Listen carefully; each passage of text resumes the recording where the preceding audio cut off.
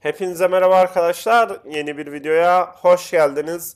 Bu videomuzda 28 Mart'ta Game Pass'e gelecek Diablo 4'e yeni başlayan arkadaşlar için bir video çekiyorum.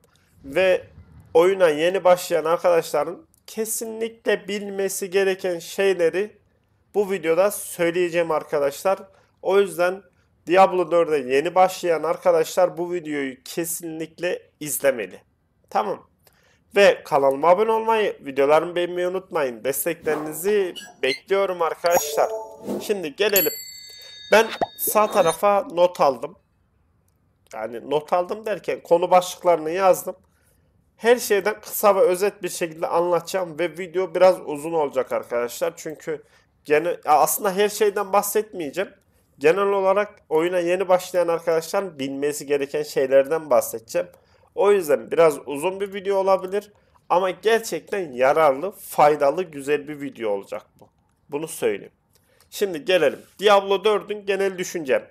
Diablo 4 hakkındaki genel düşüncem. Çok kısa bir düşüncedir bu. Şimdi oyuna başlayıp hikayesini bitirip oyunu bırakacaksanız Diablo 4 mük bir oyun. Tamam. Ama ben Diablo 4'e başladım. Hikayesini bitirdikten sonra da devam edeceğim derseniz orada Diablo maalesef kötü bir oyun arkadaşlar. Yani bu şekilde ayırt edebilirim. Kendi düşüncem bu şekilde. Çünkü Diablo'nun hikayesi mükemmel. Ona kesinlikle lafım yok. Oyun gerçekten başlayıp hikayesini bitirip oyunu kapatırsanız eşsiz, benzersiz güzel bir oyundur. Ama devam ederseniz sezonlarda oynayacağım derseniz oyun maalesef endgame konusunda kötü bir oyun olduğu için Diablo o konuda biraz kötü. Bunu söyleyeyim. Hani Diablo fanları şu an beni lişlemesin. Gerçekler yani. Bende neyse o. Çoğu kişi bilir. Beni uzun zamandır izleyen arkadaşlar bilir yani. Yani genel olarak düşüncem bu. Yani eğer dediğim gibi hikayeyi bitirip kapatacaksanız güzel oyun. Gelelim ikincisi. Karakteri açtınız arkadaşlar. Ve çoğu kişinin düşüncesi benim de ilk başta Diablo 4'e başladığımda kafamda en büyük sorulardan biri hangi karakteri açacağım? Hangi karakter güçlü? Şimdi şöyle sizlere şöyle göstereyim arkadaşlar. Böyle durmayalım. Bu arada ne yapıyorsunuz? Oruç nasıl gidiyor? İyi misiniz? Hayat nasıl gidiyor? Şöyle yeni karakter oluştur diyelim. Sizlere buradan anlatayım. Arkadaşlar, Druid ile Barbar mantıken aynı. Aynıdan kastım ikisi de 80 levele kadar sizi süründürür. Süründürür diye abartmayayım ama yorar. 80 levelden sonra gerçekten e, hasar konusunda mükemmel bir hasar çıkarmaya başlarlar. 80 levelden sonra. Ben işte bosslara tek atayım, milyarlar, milyonlar demeç vurmak istiyorum derseniz barbar açın. 80 levelden sonra barbar bir açılıyor. Ondan sonra milyarlar, milyonlar vurmaya başlıyorsunuz ve önünüze gelen her şeye tek atıyorsunuz arkadaşlar. Barbar öyle bir karakter. Druid ise Barbar'ın biraz altı. Hani milyarlar milyonlar değmeye çıkartmıyorsun ama e, onun biraz altı. Onu o şekilde söylüyorum. Ama ikisi de 80 levele kadar bayağı yorar sizi. 80 levelden sonra mük. Rock. Yani şu Rock'la büyücü. Arkadaşlar ben Rock main'im. Ha yani biliyorsunuz izleyenler bilir. Rogue oynaması çok zevkli. Büyücü de oynaması zevkli bir karakterdir. Hasarları ilk baştan oyun sonuna kadar ortalama aynıdır. Endgame'de ise ikisinin de hasarı yükselir arkadaşlar. İkisinin de hasarı e, dediğim gibi yükselir. Biraz daha iyi olur. Ama bir barbar gibi milyarlar milyonlar demeç vuramaz. Onu söyleyeyim. Hani gidip her şeyi tek atamazsınız. Ama tabii ben Rock'la e, tek attığım videolar var. Onun içinde e, ekstra şeyler yapmanız gerekir ve e, zindan dönerken de bir tık sıkıntı yaşarsınız. Ondan dolayı hani şu ortalamadır. Bu barbar gider tek atar. Bu 2 dakikada keser bu ikisi. Arasındaki fark budur. Yani şu ikisi ve bu ikisi konusunda tamamen oynanış zevki kalıyor. Öyle diyeyim. Hani geldik Necromancer'a. Arkadaşlar şu oyuna ilk başlayan herkesin genel olarak açtığı ilk karakter Necromancer'dır. Hani bunu inkar eden vardır ya da doğru diyen de vardır bilmiyorum. Arkadaşlar Necromancer yanındaki minyonlar sayesinde 50 levele kadar çok rahat bir şekilde gidersiniz.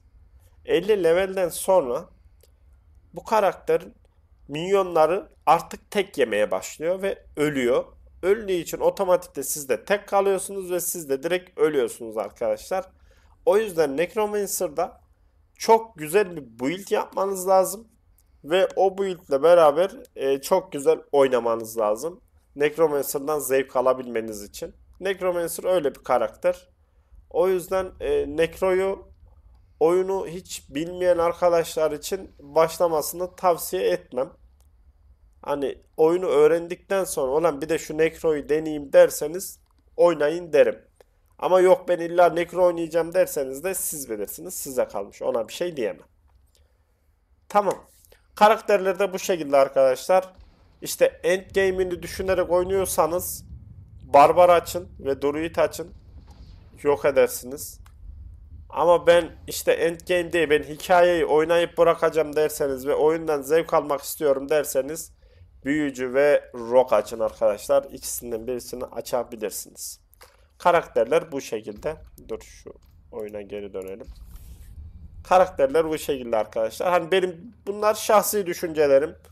Bazıları belki daha farklı düşünüyordur. Ona lafım yok. Ona bir şey diyemem. Tamam. Şimdi geldik en önemli yerlerden biriye, birisine. Arkadaşlar ben sadece hikayeyi oynayıp bırakacağım diyen arkadaşlar vardır, illaki vardır. Hikaye bitirdiğiniz zaman sizin karakteriniz 45 ila 50 level arası oluyor. Bunu söyleyeyim öncelikle. 45 ila 50 level arası oluyor. Ondan sonra ana hikaye bitiyor. Oyun sizi şöyle bırakıyor arkadaşlar. Da şöyle bırakıyor diyeyim. Dur şöyle gidelim. Şöyle yapalım.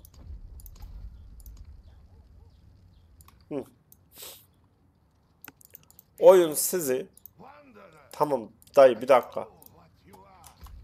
Oyun sizi böyle bırakıyor arkadaşlar. Tamam mı? Böyle kalıyorsunuz. Sonra oyunu bırakmak isterseniz bırakabilirsiniz. Bırakmak istemezseniz oyunun ilerleyen kısımları vesairesi var. Onlara geleceğiz şimdi. Oyun böyle bırakıyor. Silerseniz silersiniz. Silmezseniz devam ederseniz de bundan sonraki anlatacağım şeyler sizler için önemli. Bir dakika. Biraz hasta gibiyim. Ya da değilim. Bilmiyorum ama bilmiyorum. Ve orucum bu arada kötü anlatırsam durgun olursam kusura bakmayın. Şimdi devam edelim. Ne diyorduk ha? Evet 50 45 ila 50 level arasında bitiyor arkadaşlar. Ana hikayeyi bitirdikten sonra.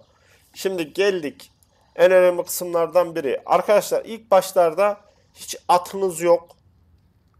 Ve atı nasıl alırsınız? Onu da söyleyeyim sizlere. Çoğu kişi bu konuda müzdarip olacağını bildiğim için ben de öyleydim. Ben de müzdariptim. Arkadaşlar atınızı burada seyis var. Bu seyise geliyorsunuz. Atınızı buradan alıyorsunuz. Ama atınızı alabilmeniz için ana hikayenin dördüncü kısmını bitirmeniz lazım. Ana hikayenin dördüncü kısmını bitirdikten sonra haritada size şurada görevler gözükür. Tamam mı? Şu sarı sarı görevler gözükür. Bu sarı görevler ana hikaye görevi. Mavi görevlerde ise bu haritadaki NPC görevleri. Ve sizde şu mavi bir şekilde gözükecek bu Seyis'in görevi. Tamam mı? Nihat Atıboğlu gibi anlatmaya başladım. Dur. Mavi bir şekilde gözükecek. Bu mavi şekilde gözüken simge sizi Seyis'e götürecek. Seyis'e vardıktan sonra burada size at verecek. Siz de bu ata bineceksiniz. Ve artık yürümeyeceksiniz. tamam mı arkadaşlar? Ondan sonra her yere daha hızlı bir şekilde gideceksiniz. Atı da bu şekilde alıyorsunuz çünkü çoğu kişinin müzdarip olacağı bir konu bu. O yüzden bu konuyu da gerçekten söylemek istedim. Çünkü ben öyleydim. O yüzden size de söylemek gereksinimi duydum. Şimdi gelelim en önemli konulardan birisi arkadaşlar şöyle bir hemen ayarlayayım siz daha iyi anlatabilmem için. Bunu oyuna başlayan ve oynayan bazı kişiler de bilmiyor. Ve oyuna yeni başlayan kişiler kesinlikle bilmiyor arkadaşlar. Şimdi burada itemin özellikleri yazıyor. Gördüğünüz gibi dümdüz bir itemin özellikleri yazıyor. Ama siz gelip buradan seçeneklere tıklayıp oynanışa tıklayıp oradan burada gelişmiş araç ipuçları bilgisine şöyle tikini açıp değişiklikleri kaydet derseniz oyun burada size şey veriyor. İtemlerde sadece özellik gözüküyordu ya arkadaşlar. Şimdi artık o özelliklerin bir de oranları gözüküyor. Bu oranlar neden önemli? Arkadaşlar en yüksek oranları giyerseniz hasarınız, defansınız da o kadar yüksek olur. O yüzden bu oranları kesinlikle açın oyuna başladığınız zaman. Bunun size gerçekten çok yararı olacak arkadaşlar. En azından en düşük oranları giymemiş olursunuz. Tamam. İtem olayımız da bu şekilde. İtem konusunda bir sürü şeyler var ama ben kısa bir şekilde anlatacağım hepsini. Şimdi gelelim yetenek ağacı ve paragon. Oyuna başladınız. Bu dediklerimi yaptınız işte. itemi ayarladınız. Yavaştan karakterinizi açtınız. ilerletmeye başladınız hikayeyi. Ve 20 level oldunuz. Yavaştan yetenek puanları da iyice çoğalmaya başladı. Şimdi gelelim burada ne olacak? Burada nasıl bir ilerleme yapacağız. Arkadaşlar kısa ve özet geçeceğim. Burası temel yeteneklerimiz ve yeteneklerin hepsi burada ne yetenek olduğu yazıyor. Burası çekirdek, burası çeviklik, burası işte hile, burası aşılama, burası ulti yetenekler, burası da temel pasifler. Bu her karakterde değişir. Büyücü de burada bende aşılama yazıyor ya, büyücü de burada ustalık yetenekleri yazıyor mesela. Anladınız mı? Bu her karakterde değişir. Sizin bu ana merkezdeki yeteneklere göre yani bu ildinizi ayarlamanız veya itemlerin üstündeki efsunlarda o şekilde ayarlamanız gerekir. Şimdi gelelim çekirdek yeteneklerine. Arkadaşlar burada 2 puan verdikten sonra size burası açılır. Tamam mı? Burada 2 puan verdiniz burayı açtınız. Burada tüm yeteneklerin hepsini açmayın.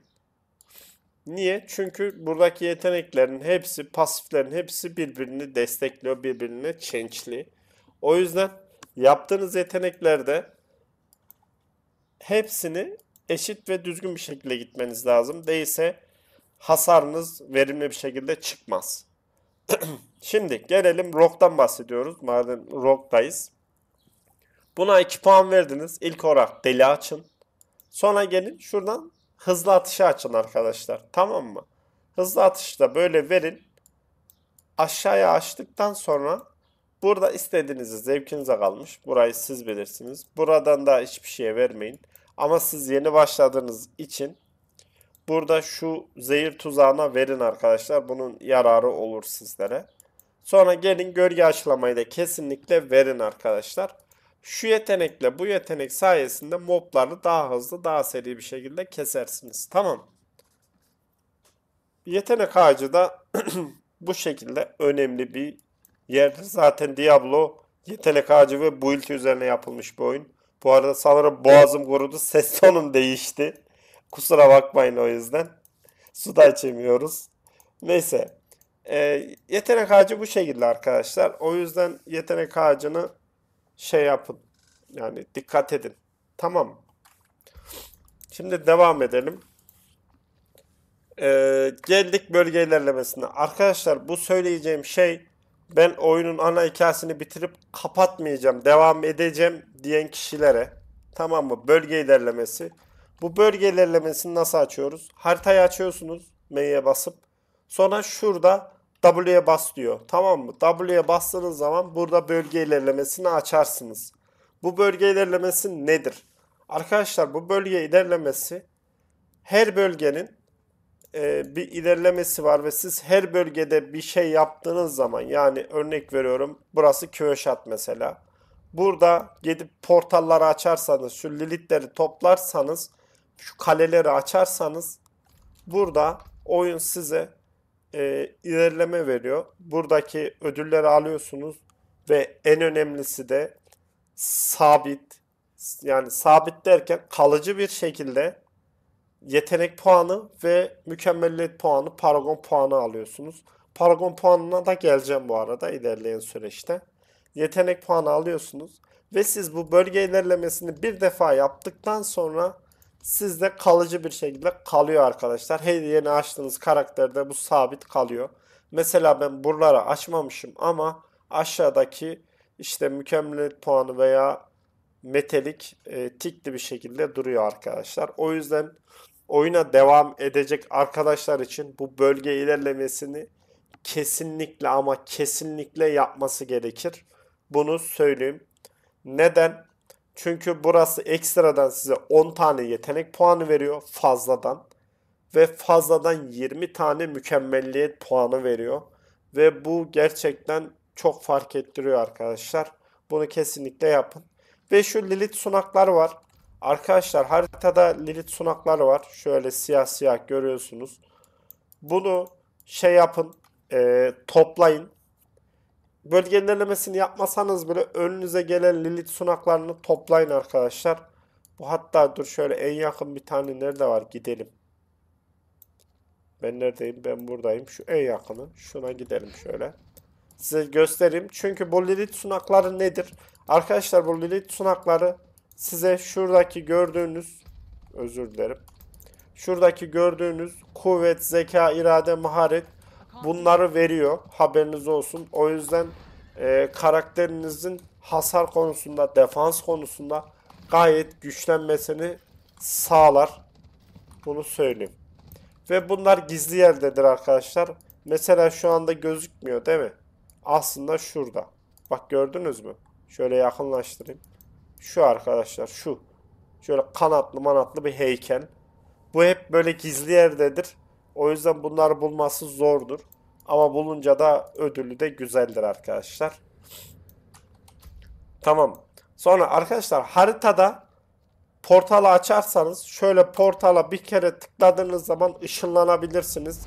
Yani gidip yürümeyin her yeri. Böyle bir kere tıkladınız mı ışınlanabilirsiniz. Bunu da söylemiş olayım. Bu da gerçekten önemli bir şey. Portalları da açarsınız zaten ilerledikçe köylere. Köylere gittikçe zaten böyle portalları da açarsınız. Bu portallarda zaten size bölge ilerlemesi konusunda puan veriyor. Tamam şimdi geldik bölge ilerlemesini anlattık. Aspektler. Arkadaşlar aspektler nedir? Şimdi bu oyunda kırmızı itemler var. Yani efsanevi itemler.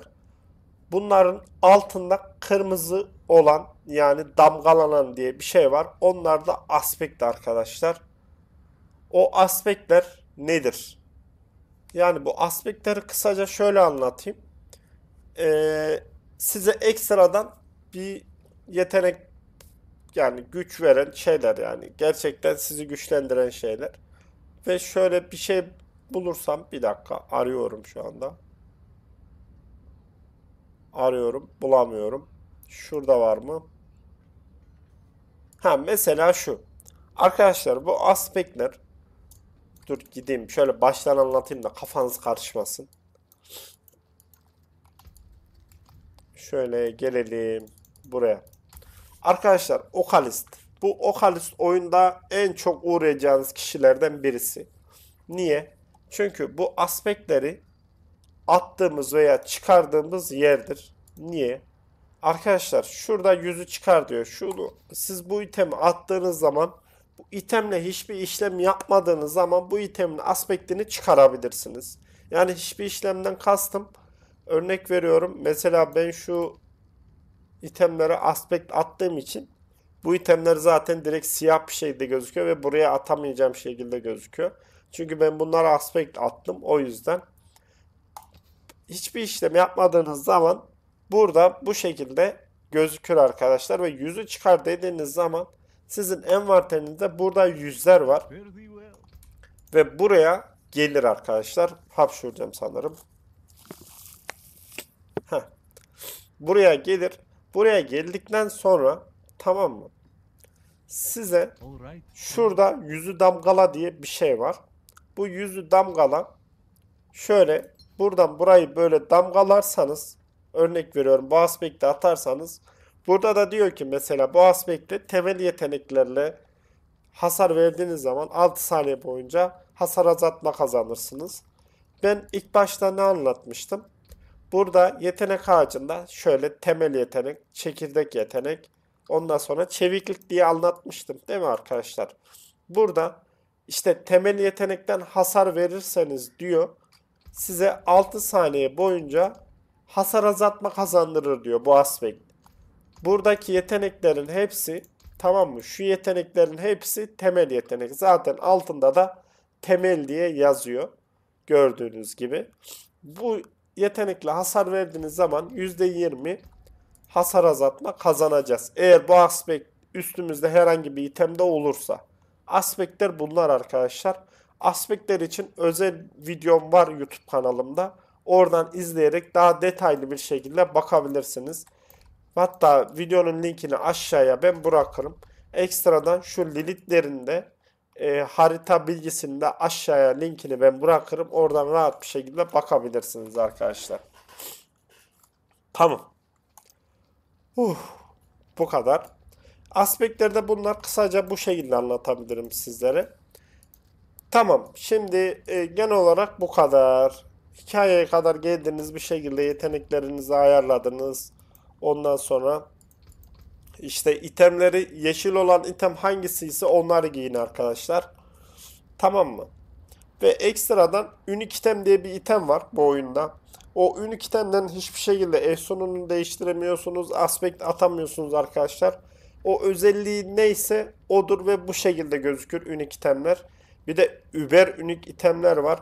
Uber Unique itemler ise bakın farkındaysanız benim burada oranları gözüke, gözüküyor Unique itemlerin. Uber Unique itemlerin oranları gözükmez arkadaşlar. Bak burada bende iki tane var. Oranları gözükmez. Bu yüzüğün gözüküyor. Bunun gözükme sebebi ise şey bu bir tane üstteki bir efsun var. Ondan dolayı gözüküyor arkadaşlar. Bu sadece bu yüzeye özel bir şey. Diğerlerinde gözükmez. Haberiniz olsun. Bak bunda gözükmüyor. Tamam mı? Uber Unique ile Unique itemler arasındaki fark bu arkadaşlar. Daha ekstra detaylı farkları var. Ben onlar için de bunun için de özel bir video yaptım. Onu da YouTube kanalımda izleyebilirsiniz. O yüzden e, bunların efsununu veya aspekt atamazsınız. Haberiniz olsun. Geldik. Hikayemiz bitti. Ondan sonra haritamız bu şekilde kaldı. İkinci dünyadayız. Burada ne yapacaksınız arkadaşlar?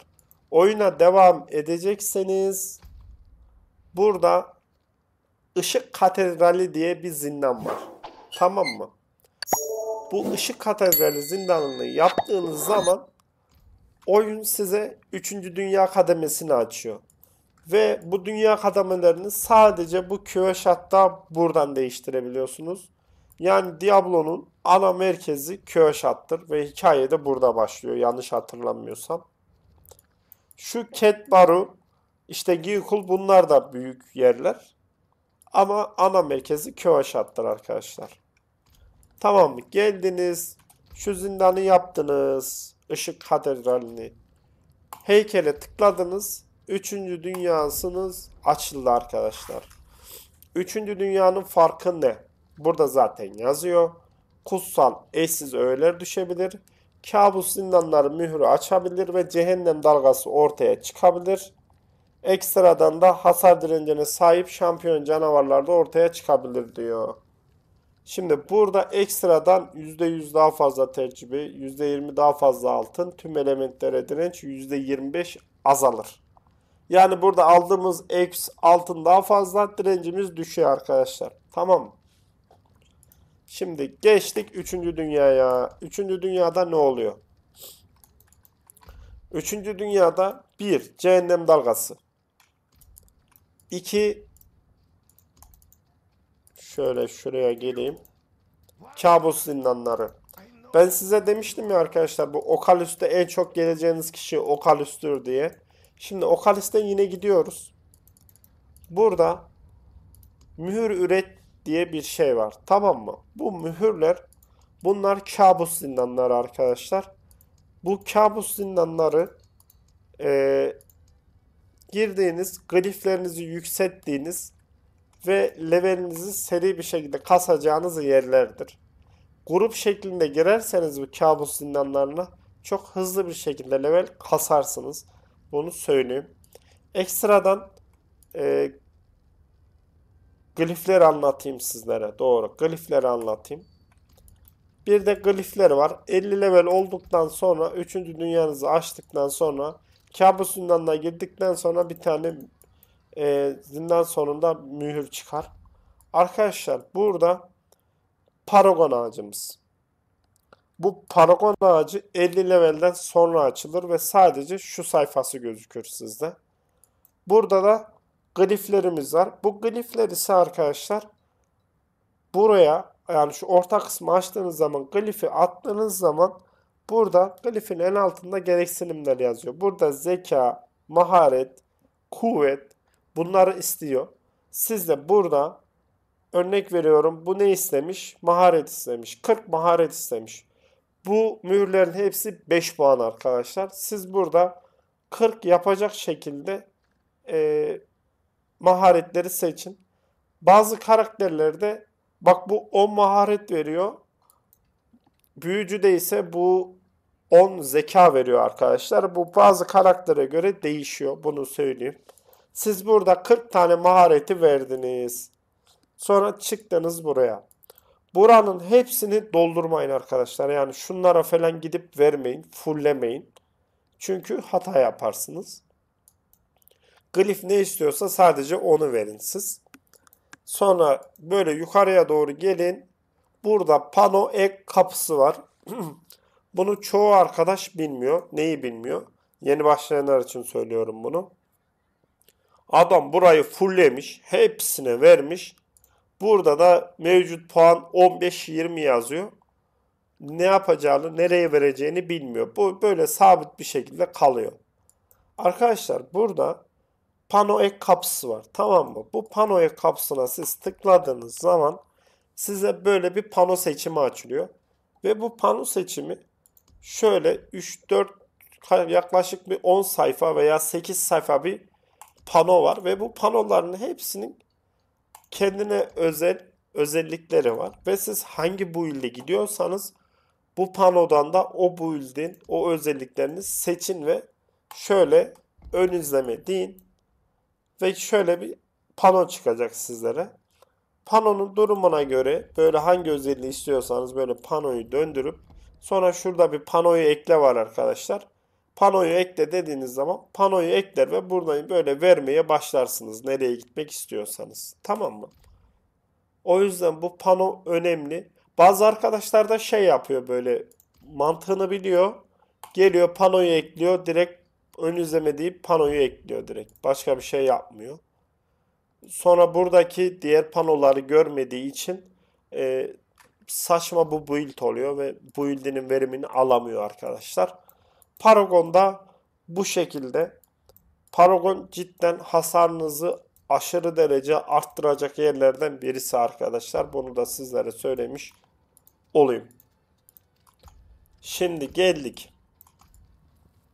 Cehennem dalgası. Arkadaşlar cehennem dalgası her bir saatte bir sürekli farklı bölgelerde çıkar. Ve bu cehennem dalgasından ne düşüyor? Yani cehennem dalgasını açıklayacak olursak onun için ayrı özel bir video çıkar. O yüzden e, onun için şey yapmayacağım. Hani detaylı girmeyeceğim. Sadece bilmeniz gereken şu. İtemlere artı basıyorsunuz demircide. Tamam mı? Buraya gelip artı basarken bu sizden unutulmuş ruh istiyor arkadaşlar. Burada tamam mı? İkinci dünya kademesinde istemez bunu. Bunu üçüncü dünya kademesine geçtikten sonraki itemlerden istemeye başlar. Bunu istediği zaman burada zaten diyor ki cehennem dalgasında bulunur diyor. Cehennem dalgasında sandıklar var arkadaşlar. O sandıkları açtığınız zaman içinden e, unutulmuş ruh düşer. Orada ifrit gülleri var. Ondan da unutulmuş ruh ve damarlar var arkadaşlar. Böyle morumsu bir damarları var. Onlardan da unutulmuş ruh düşer arkadaşlar. İfrit gülü de var. İfrit gülü için onu anlatmayayım. Kafanızı hiç karıştırmayayım. Ayrı bir video lazım onun için. Yani cehennem dalgası için ayrı bir video lazım. Şimdi geldik. Ee, üçüncü dünyayı açtık. Üçüncü dünyada kabus mühürlerini gördük. Ondan sonra cehennem dalgasını gördük. Ve üçüncü dünyada arkadaşlar Varşan diye bir boss var. Tamam mı? Bu Varşan boss'u açılıyor üçüncü dünyada. Ekstradan bir de şurada Tövbekar Salonu diye bir elektrik boss'umuz var. Bu iki boss geliyor üçüncü dünyada. Siz üçüncü dünyada bitirdiniz. Örnek veriyorum 65 level oldunuz. 65 level olduktan sonra dördüncü dünyayı açmak istiyorsunuz. Dördüncü dünyayı da açmak için de yıkılmış tapınağa girmeniz lazım arkadaşlar. Bu yıpı, yıkılmış tapınağı da yaptıktan sonra gelip buraya dördüncü dünyayı da açabilirsiniz. Dördüncü dünyayı da açtıktan sonra burada Duriel'imiz oluyor. Ondan sonra şurada ekstra bir buzul çatlağımız oluyor. Boss. Yani toplamda 4 tane 2 tane daha boss gelmiş oluyor arkadaşlar. Ekstradan burada görev varmış. Ekstradan daha fazla yüksek itemler düşüyor. Şimdi bu 3. 4. dünyanın farkında kısa ve özetle anlatayım. Arkadaşlar siz 45 level veya 47 level olduğunuz zaman 3. dünya kademesini açın. Çünkü 3. dünya kademesinde 45. 47. seviye itemler düşüyor ve bu itemler sizi gerçekten çok üst bir seviyeye çıkarıyor hasar konusunda. O yüzden 45 veya 47 levelde gelin şuraya. Ee, tabi zindan şimdi gözükmüyor. Şöyle yapayım. Gelin buraya. Burada ışık katedralini yapın ve 3. dünya kademesine geçin.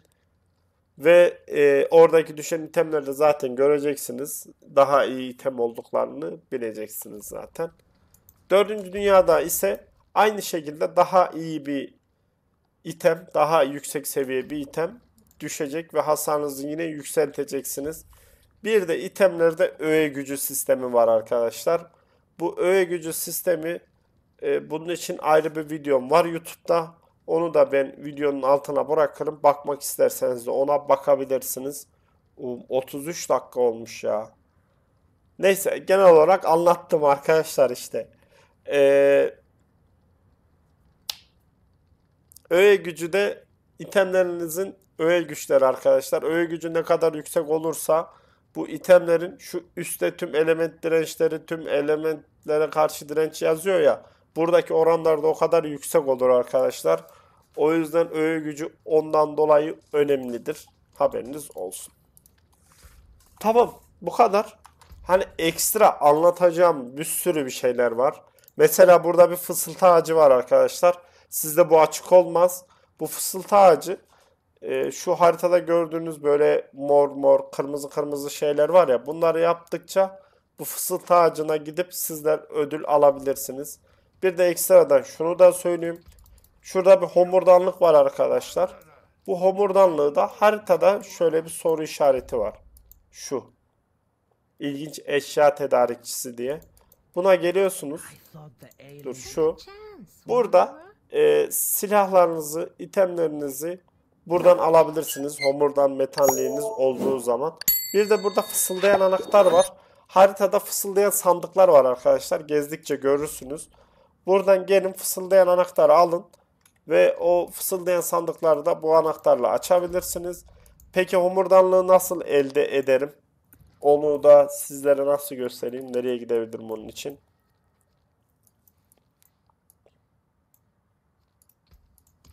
PvP bölgesinden gidelim. Bir de iteme ihtiyacınız olursa PvP bölgesine gidin arkadaşlar. PvP bölgesinde çok efsane mob, slot ve efsane itemler düşer orada. Hani item ihtiyacınız olursa gidip orada düşürür ve orada da level kasabilirsiniz. İlk başlar için söylüyorum bunu. Yani 20 ila 50 level arası. Hatta 50 level de abartı olur. 20 ila 30 level arası diyebilirim sizlere. Hani bu PvP bölgesi de böyle. Burada dediğim gibi çok güzel lootlar var. Bu PvP bölgesi için de ayrı bir video çekilir bu arada. Bir de haritada şöyle loot goblinleri var arkadaşlar. Bu loot goblinleri sizlere şey veriyor. Ekstradan böyle efsanevi item düşürebilir. O loot goblinlerini kaçırmamaya çalışın. Biz buraya geldik göstermek için. Burada bir de boss var.